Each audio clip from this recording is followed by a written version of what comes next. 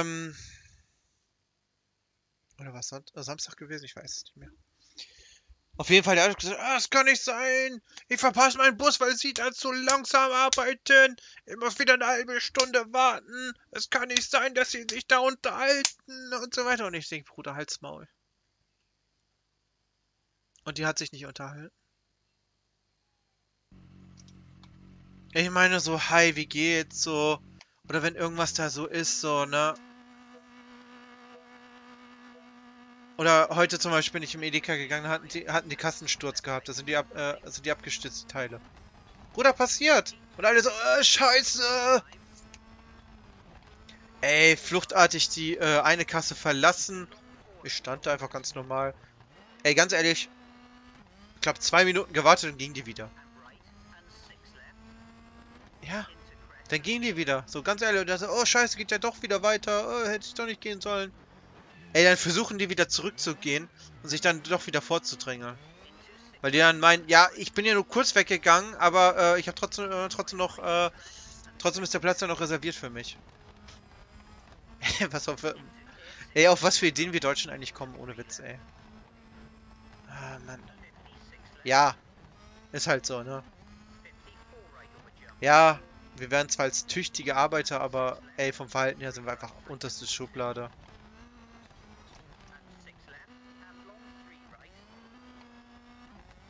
Das sind eigentlich nur, äh, ich glaube, übertroffen werden wir eigentlich nur noch von, äh, von Leuten aus, äh, aus dem Nahen Osten.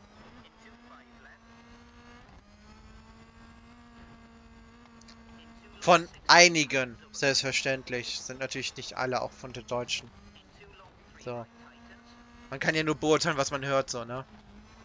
Aber natürlich muss man äh, im gleichen Atemzug sagen, nicht jeder ist so. Ne? Ja. Aber gerade Jugendlichen sind sehr, sehr, sehr schlimm, muss ich sagen. Da frage ich, ich frage dann wirklich, ob ich dann auch so schlimm war damals.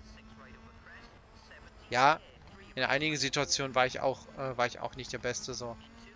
Aber ähm, ich habe mich eigentlich immer so verhalten, weil äh, gut, du wohnst in einem Dorf und in einem Dorf wirst du halt ja, deine Taten werden halt auf deine Familie zurückgebracht. Das heißt, wenn du die Scheiße verhältst, dann werden deine anderen Familienmitglieder mit meinem Verhalten äh, beurteilt und gemessen. So. Das ist total dämlich. Da haben gedacht, ach, was haben sie denn für einen scheiß Sohn? Nackkoi, ey. Ey, da hatte ich, ey, ohne Witz. Da muss ich auch eine Story sagen. Die Rentner wohnen da immer noch. Sind ultra spießig, ey. Ne? Ich meine, ich habe überhaupt nichts dagegen. So, Bruder. Ich meine, ich gönn's. Genießt, genießt die Rentnerzeit. Ohne Witz, die haben, die haben ein Boot auch und so weiter. Cool. Benutzen das wahrscheinlich auch, wenn sie in Urlaub fahren. So, ey, ohne Witz, gönn ich euch. Ist voll cool ein Boot. Ohne Witz, ja. Why not? So, äh, gönn ich. So, aber wir haben mal Fußball gespielt. Und ja gut, es, ja natürlich, es war Mitternacht, äh, Mitternacht sag ich schon.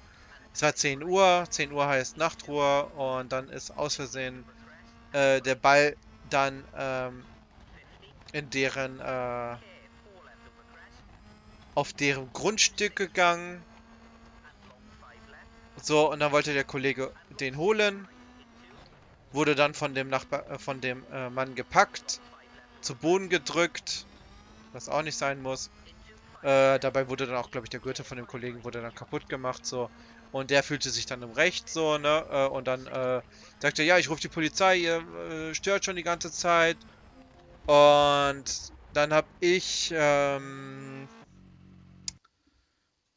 einen Verwandten gerufen, der schon ähm, eine gewisse Aussagekraft hat. Also in Form von, ähm, ist älter, besonnen und äh, weiß, wie man äh, eine angespannte Situation entschärfen kann. Ne? Und den äh, hatte ich dann gerufen, der kam dann auch, sehr zügig. Und Ja, dann hatte mich die Frau von dem, von denen äh, hatte mich dann erkannt. Die wusste dann ganz genau, wo meine Mutter arbeitet. Ja. Und die hatte und die hat das dann auch sofort gesagt, ah ja, du bist ja, äh, bist ja der Sohn von der und der, äh, von, äh, von der hier, ne? Ja, das werde ich dann sagen, ne? Wenn ich das nächste Mal da bin. Bruder, wie dreckig kannst du eigentlich sein?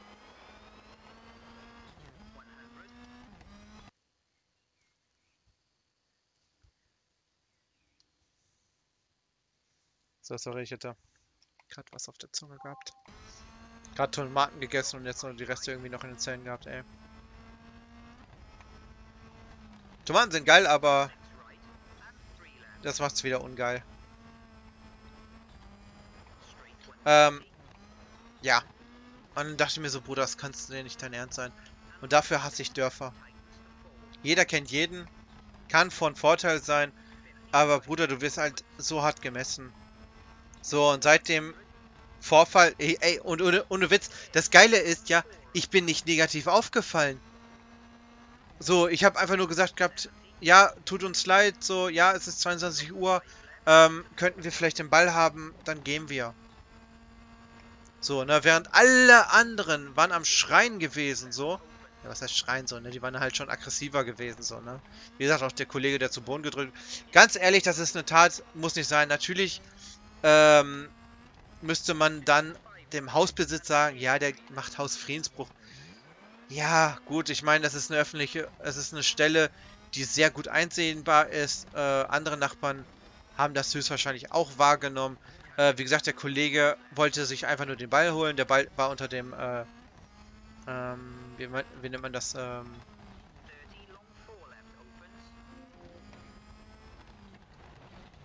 der ist unter dem, äh, unter so einem Mobilfahrzeug wo du auch wohnen kannst. Ich habe den Namen jetzt von vergessen, so, ne? Wo man äh, sehr gut auch campen kann, so, ne? Auf so einem Campingplatz, so, ne? So ein Bulli, so ein Campingbully, so, ne? Auch sehr, sehr, schön. Wie gesagt, der hat ein Boot, der hat einen Campingbully-Anhänger, sehr, sehr schön. Also, wie gesagt, gönn, gönn ich! Ohne Witz, gönn ich! Und irgendjemand kugelt draußen, es ist Feuer, riecht nach Feuer, ey, saugeil, ey. Mann, gib mir doch wenigstens Bratwurstgeruch, ey. Beste Bratwurstgeruch oder überhaupt Grillgeruch, ey. Beste. Statt Feuergeruch am Nackel.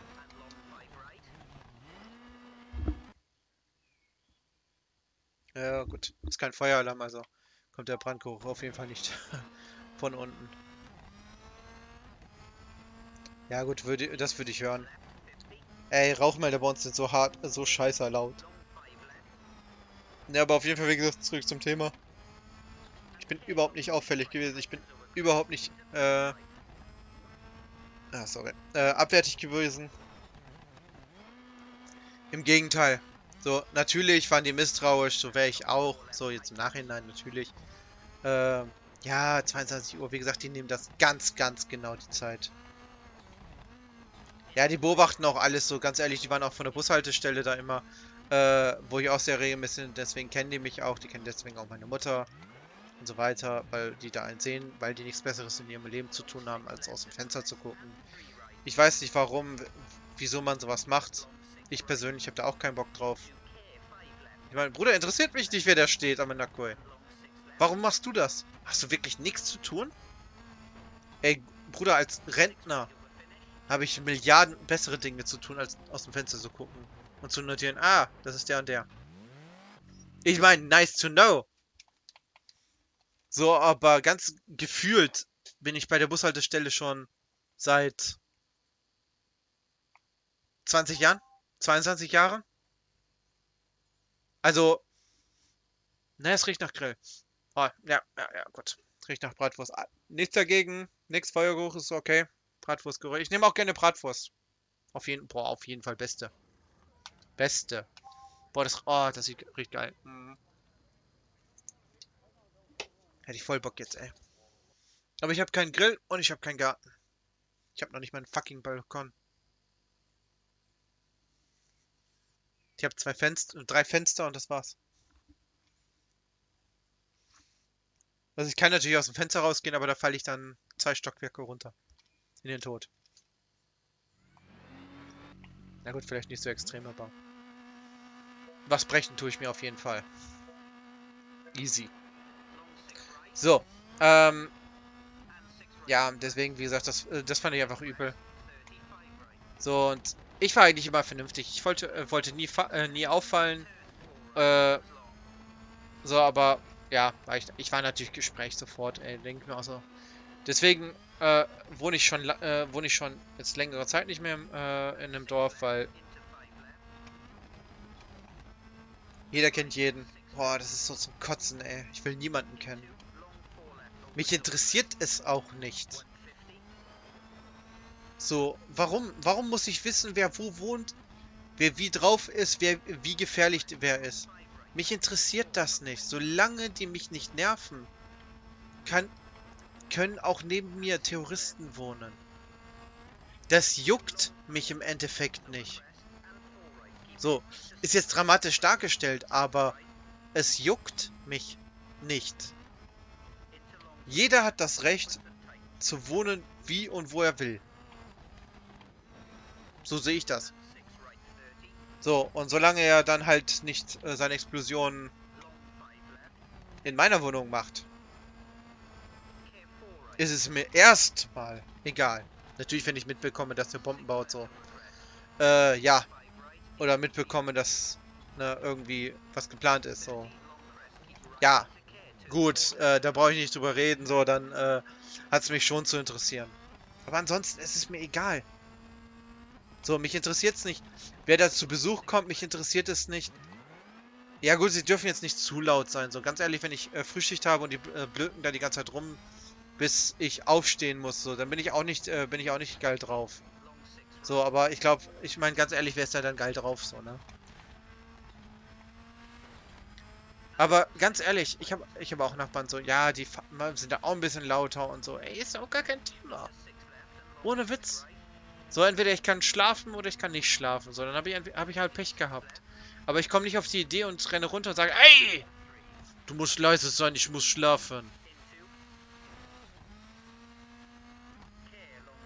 Ich hatte zum Beispiel vor äh, zwei Wochen komischerweise auch noch, äh, nee, nee, nee, nee, nee, nee, nee, nee, das war was anderes. Da ging es mir wieder gut, genau. Äh, ich war zwei Tage, zwei Tage krank gewesen, wie gesagt, äh, mit den Kopfschmerzen Krankenhaus etc., ne? Und äh, von Mittwoch auf Donnerstag äh, hatte ich dann Frühschicht, so hab mich dann sehr, sehr spät ins Bett, äh, weil ich halt, ja, ich müde war und wollte unbedingt noch den Film zu Ende gucken. Und... Ja. Und, äh... So, ich habe dann Fenster aufgehabt, weil... Ja, war warm. So, äh, ne. Im, also ich kann ganz gut äh, schlafen, wenn es kühler wird. Im Zimmer so, ne? Ja, und, ähm... Dann hat irgendjemand gehämmert. Auch lange gehämmert, so nach 22 Uhr. Äh, da sind auch Leute hingegangen, haben gesagt, jo, hör auf zu hämmern, etc. So, fünf Minuten später hat er einfach weitergemacht. Hab's dann leider nicht geschafft, innerhalb von fünf Minuten einzuschlafen. So, Ende vom Lied. Ich habe den natürlich aufs Übelste beleidigt. Natürlich so, dass er das nicht gehört hat. So, ich bin nicht rausgegangen, als ob ich da rausgehe, ey, Bruder. Nein, warum?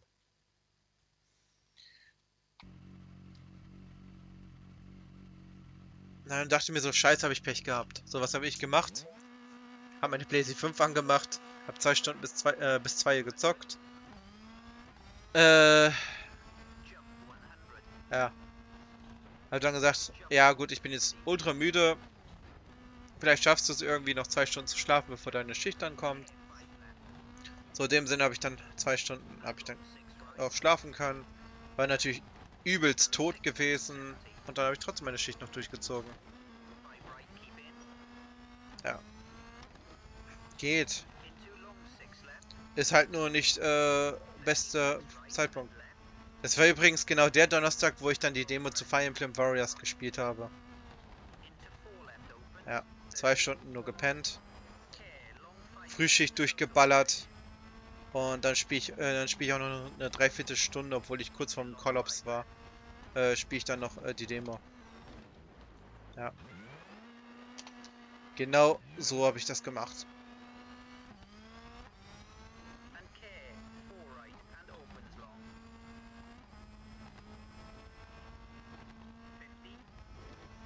Ja, ich meine, ist halt so, ne? Aber war auch nicht. Äh, war, war blöd so, aber ich konnte halt äh, weiterkommen bei Tales of Arise. Wie gesagt, jetzt habe ich es seit Sonntag habe ich es durch. Ne, seit ja doch seit Sonntagmorgen habe ich es durch. Schönes Spiel, spiele ich auf jeden Fall nochmal. Ich, äh, gibt's New Game Plus, das spiele ich jetzt, äh, habe ich schon angefangen.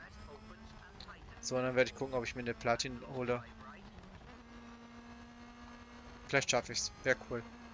Das ist ein schönes Spiel, hat Spaß, macht Spaß so, ne? Also wirklich Spaß. So. Hm. Ja, so läuft halt ab. So, aber eine Großstadt ist halt besser für sowas, finde ich. Da gibt es halt nicht dieses, der kennt jeden, äh, kennt den und den und den und du triffst den und den und den. Sondern hier siehst du jeden Tag jemand anderen. Oder halt gefühlt selten mal diejenigen, die du kennst. Ne?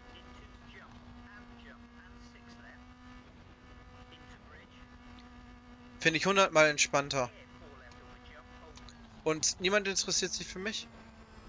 Finde ich super. Ich habe meine Ruhe.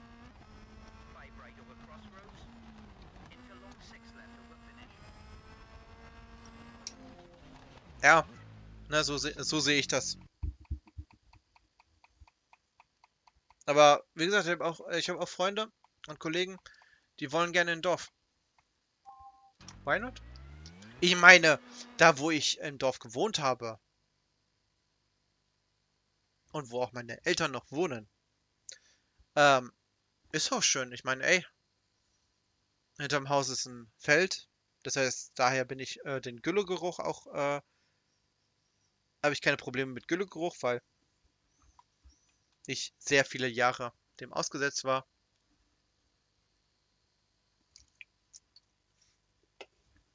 Ja. Und vielleicht ein Kilometer bin ich von einem sehr, sehr großen Wald entfernt. Sehr großen Wald. Und auch einem Berg. Das heißt, da haben wir auch sehr, sehr selten Unwetter erlebt. Und weil wir auch gar keinen Fluss haben, brauchten wir auch gar keine Angst vor äh, Überschwemmung haben. Ja. Deswegen, hier, wo ich wohne, hier ist sowas von ein Fluss. Was für ein Fluss auch noch, ey. Ein großer, ganz großer Fluss. Ja. Wenn der rüber geht, äh, bin ich sowas von am Arsch. Ja, gut, jetzt... Ja, also ich bin sehr, sehr viele Kilometer von entfernt. Also wenn der zu mir kommt, äh, boah, hat er aber genug anderes schon mitgenommen. So, da ist die Wahrscheinlichkeit dann auch eher gering. Kann passieren, ne? Brauchen wir nicht drüber reden. Ich meine, Holland wird auch bei einem Anstieg von, von den Weltmeeren auch überschwemmt, so, ne? Also möglich ist es. Das Wasser kann sich auf jeden Fall das Land holen. Zurückholen. So. Wollen wir natürlich nicht hoffen. Ähm,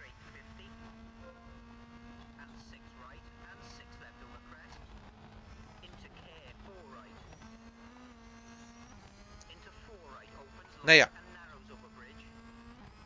Ja, wie gesagt, also wie, äh, äh, ist eine schöne ländliche Gegend. Ja, hat schon seinen Vorteil so, aber ich bin halt komplett abgeschreckt von dem jeder kennt jeden. Weil ich halt einfach so hart, äh, so viele negative Momente damit hatte, äh, was einfach kacke ist. So, deswegen äh, ist Dorf für mich gar nichts. So, ansonsten natürlich äh, von, äh, ne, von, von der Atmosphäre und so weiter ist schön. Auf jeden Fall. Hast mehr Natur, als wenn du in einer Großstadt wohnst. Mit Industrie und so weiter. Wobei mich Industrie äh, tatsächlich mehr anspricht. Ich mag es bei Nacht in, durch Industriestädte äh, zu fahren, ey. Saugeil. Ohne Witz, macht mega Bock.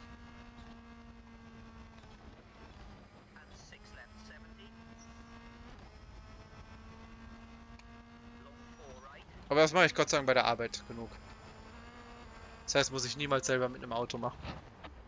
Vorteil. So. Genau. Ja, so sieht's aus halt, ne? So auch schon mal wieder ein paar, über ein paar Sachen gequasselt. Ist auch schön. So, wir sind mal besser als der Typ gewesen. Haben wir gut gefahren.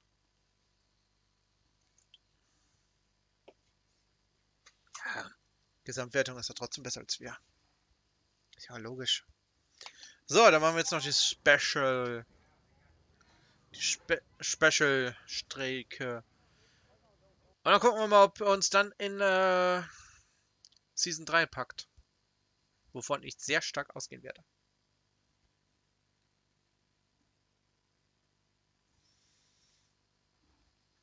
Ja, auf jeden Fall, auf jeden Fall. So.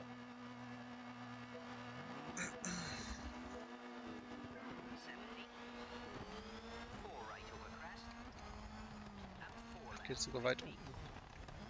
Das ist wieder die Strecke, wo die Lichtscheine uns einfach gar nicht helfen. Schon wieder vergessen.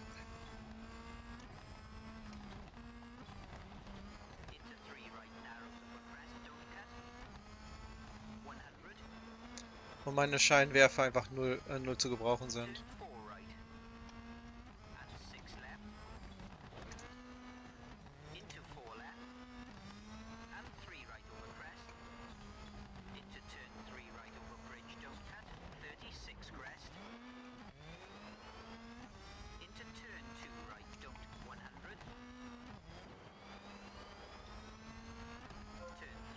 Krass, habe ich noch geschafft. Hätte ich jetzt nicht erwartet.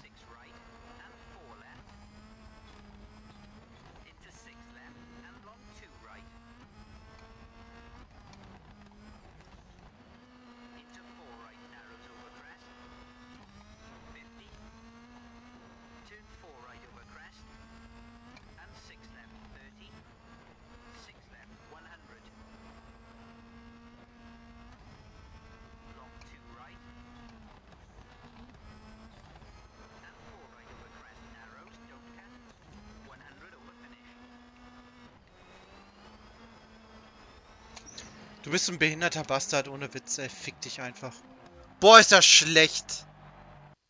Letzte Kur äh, letztes Ding. Und genau in der Lücke lande ich auch noch. Ah, fick dich doch, Alter. Sonst hätten wir den Typen gewonnen und wären sowieso Erster geworden. Ah, du dreckiger Bastard. Ich meine, wir hätten trotzdem nicht gewonnen, aber... Ging ums Prinzip. Dass wir uns das Ding wenigstens mitnehmen.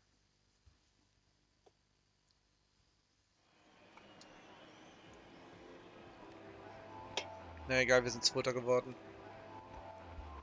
Muss auch mit kleinen Dingen schon zufrieden sein. Auto verbessert zu neuer Fokus Level 4. Hm.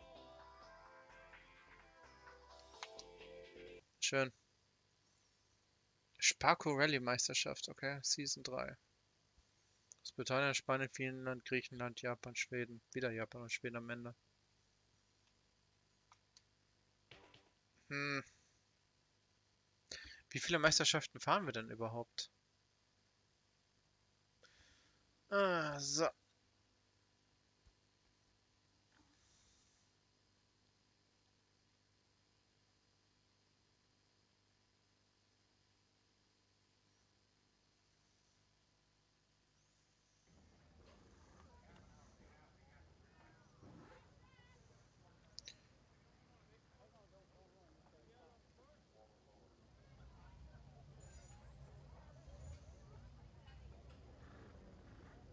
So, ich guck gerade mal.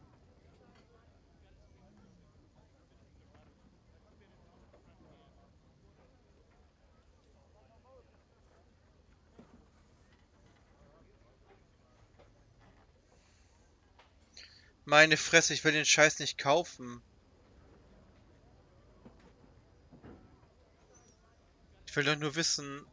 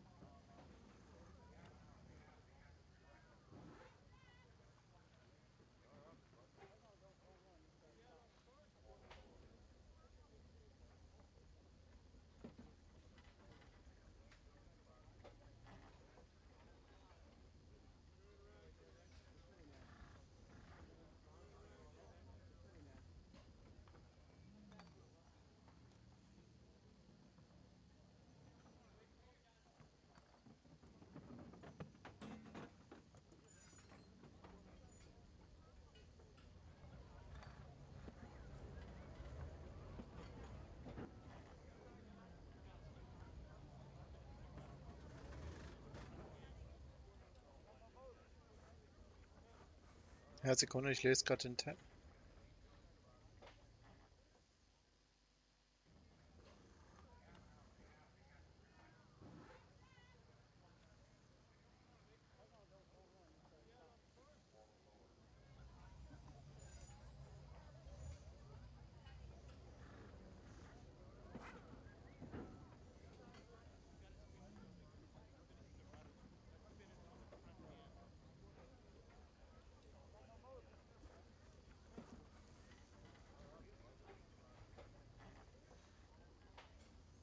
Oder wie viele Seiten hat denn geschrieben, ey? Oh Mann.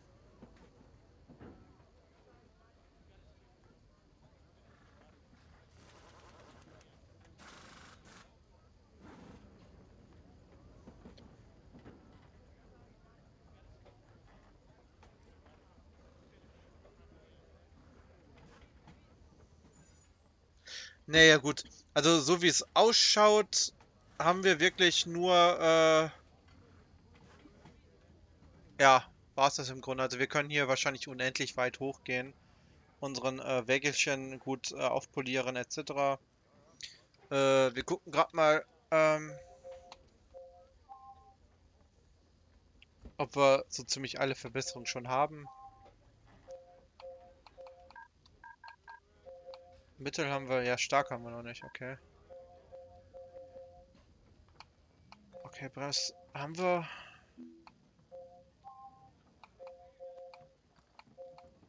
Da haben wir alles. Da auch.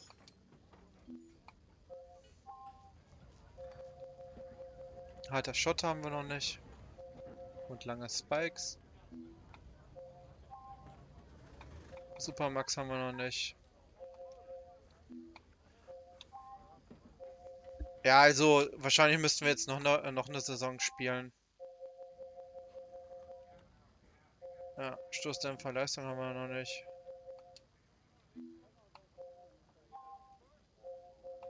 Ja. Also uns fehlen auf jeden Fall noch ein paar Dinge.